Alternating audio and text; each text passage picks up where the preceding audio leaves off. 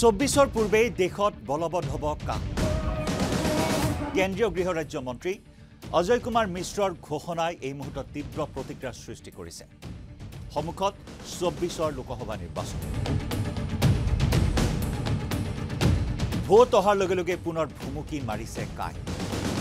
Citizen amendment act কাৰ্যকৰী কৰাৰ বাবে এতিয়া উঠি পৰি লাগিছে কেন্দ্ৰীয় চৰকাৰ।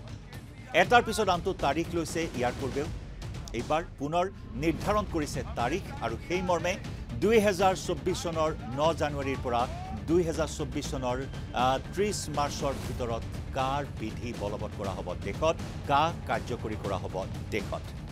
পশ্চিমবংগৰ জনসভাত কেন্দ্ৰীয় গৃহ ৰাজ্যমন্ত্ৰী অজয় কুমাৰ মিশ্ৰৰ এই ঘোষণাৰ লগে লগে এতিয়া অসমতো তীব্ৰ প্ৰতিক্ৰিয়াৰ সৃষ্টি হৈছে।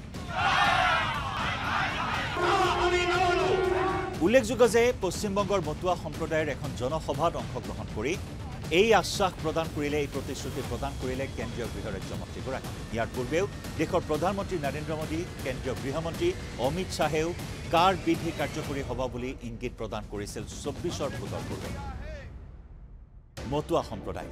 বাংলাদেশৰ পৰা প্ৰব্ৰজিত এই সম্প্ৰদায়ে পশ্চিমবংগত দহৰ পৰা পোন্ধৰটা লোকসভা সমষ্টিত বিশেষভাৱে গুৰুত্ব আছে। আৰু সেই গুৰুত্বৰ প্ৰতি লক্ষ্য ৰাখিয়েই এইবাৰ পুনৰবাৰ প্ৰতিশ্ৰুতি দিছে এই সম্প্ৰদায়ৰ লোকসকলক যে চৌব্বিছৰ নিৰ্বাচনৰ পূৰ্বেই কাৰ বিধি বলবৎ কৰা হ'ব দেশত। আৰু ইয়াৰ প্ৰভাৱ অসমত বাৰুকৈয়ে পৰিব আৰু যাক লৈ এতিয়া জাঙুৰ খাই উঠিছে অসমৰ ৰাজনৈতিক অৰাজনৈতিক সংগঠনসমূহ। ৰাজনৈতিক অৰাজনৈতিক দল সংগঠনসমূহে তীব্ৰ প্ৰতিক্ৰিয়া প্ৰকাশ কৰিছে। উচ্চতম ন্যায়ালয়ৰ ওপৰত আস্থা আৰু বিশ্বাস আছে। উত্তৰ পূৰ্বাঞ্চলৰ অসমৰ পৰা আবেদন আবেদন কৰা তেপন্নখন আবেদন আৰু সমগ্ৰ ভাৰতবৰ্ষৰ পৰা আবেদন কৰা দুশৰো দুশৰো অধিক যি আবেদন আছে সেই আবেদনসমূহৰ শুনানিৰ ভিত্তিত উচ্চতম ন্যায়ালয়ে এক ৰায়দান প্ৰদান কৰিব আৰু সেই ৰায় সদায় ৰাইজৰ পক্ষত হ'ব। ইফালে ৰাইজৰ দলৰ সভাপতি তথা শিৱসাগৰৰ বিধায়ক অখিল গগৈয়ে প্ৰকাশ কৰিছে তীব্ৰ ক্ষোভ আৰু অসন্তুষ্টি।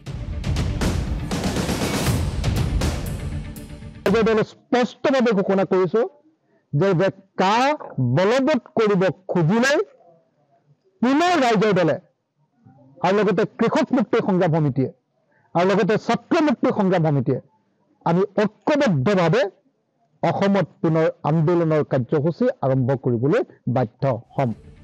অসম জাতীয়তাবাদী যুৱ ছাত্ৰ পৰিষদৰ নেতা পলাশ চাংমাই প্ৰকাশ কৰিছে প্ৰতিক্ৰিয়া। পুনৰ ৰাজপথৰ আন্দোলন গঢ়ি তোলাৰ হুংকাৰ প্ৰদান কৰিছে পলাশ চাংমাই। ইফালে সদৌ অসম ছাত্ৰ সন্থাৰ সাধাৰণ সম্পাদক শংকৰজ্যোতি বৰায়ো প্ৰকাশ কৰিছে প্ৰতিক্ৰিয়া বিৰোধিতা কৰিছে কাৰ বিধি বলবৎ হোৱাৰ এই ঘোষণা?